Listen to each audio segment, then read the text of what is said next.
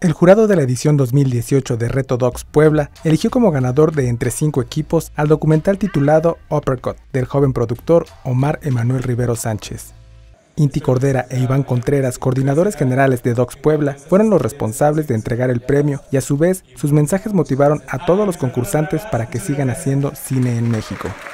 Como parte del Festival Docs Puebla, desde el pasado lunes 13 de agosto se dio el claquetazo de los cinco equipos participantes en el reto, a quienes se les prestaron cámaras de video para que salieran a las calles de Puebla y en solo 100 horas entregaran un cortometraje terminado.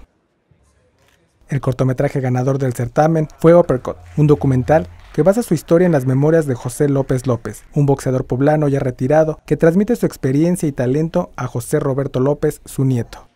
Además del Reto Docs Puebla, durante el festival que se desarrolló del 13 al 18 de agosto, se proyectaron 13 cortometrajes en tres sedes de la capital del estado, de las cuales 6 cintas fueron mexicanas.